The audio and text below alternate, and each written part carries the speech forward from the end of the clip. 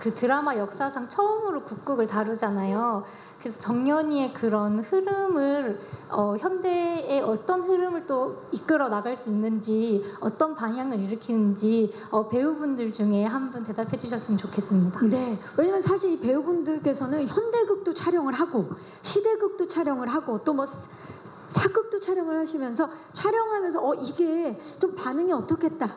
어 어떤 식의 반향을 일으키겠다. 찍다 보면 그런 느낌이 들 것 같기도 한데 어떻습니까? 우리 그 테리 씨한테 좀 여쭤볼까요? 어 이제 여성 국극을 하겠다고 하고 공부를 하고 책을 읽고 다큐멘터리 같은 거를 보면 굉장히 놀랍게도 놀랍게도 요즘 아이돌 팬덤 문화랑 굉장히 비슷해요. 어 팬들이 집 앞에 서 있고 또 사진 한 장 찍겠다고 엄청 이제 결혼식 사진 찍은 그 되게 유명한 사진도 있고요.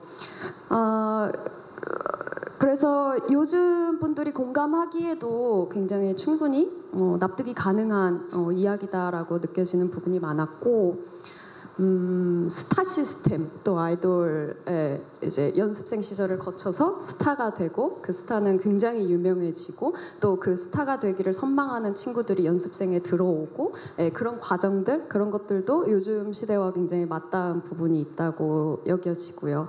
아, 사실 하나 어 이게 괜찮을까? 감독님이 되게 걱정하고 신경 쓰셨던 부분이 그 분장이에요. 이제 여성국극의 고증을 따르자면 굉장히 더 강렬하고 더 짙은 화장이어야 하는데 저희는 그거를 어, 드라마적 허용으로 조금 순화를 해서 에, 표현을 했고 그럼에도 불구하고 어, 조금 낯선 느낌이 있을 수 있겠지만 저는 그것도 충분히 어, 재미로 드라마를 보실 수 있는 어, 충분히 신선한 부분이지 않을까 생각합니다. 네, 좋습니다.